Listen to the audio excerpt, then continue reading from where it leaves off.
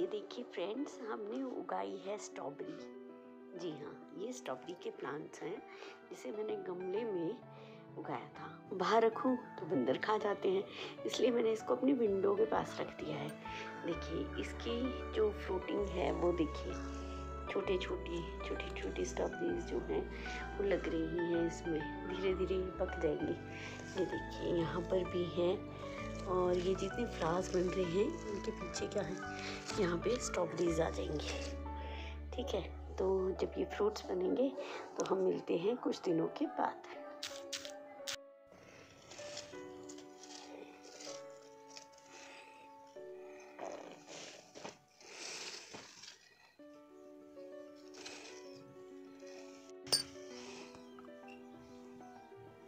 Thank you.